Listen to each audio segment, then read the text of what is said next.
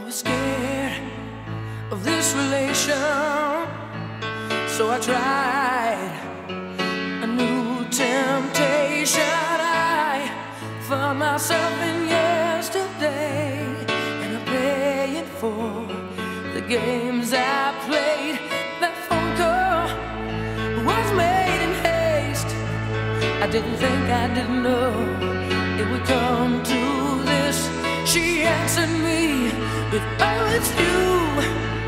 And I responded, Got someone